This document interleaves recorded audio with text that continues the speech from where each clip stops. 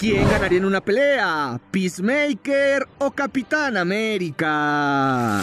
Enfrentamiento de símbolos. Por un lado tenemos al Capitán América, símbolo de la libertad y la justicia. Por el otro tenemos a Peacemaker, símbolo de la paz. Pero aunque ambos personajes busquen un objetivo similar, tienen métodos bastante distintos. Por lo que si se conocieran, tendrían sus roces, por sus métodos tan diferentes para llevar la justicia. Además son excelentes peleadores cuerpo a cuerpo y están bien entrenados. Sin duda una pelea épica.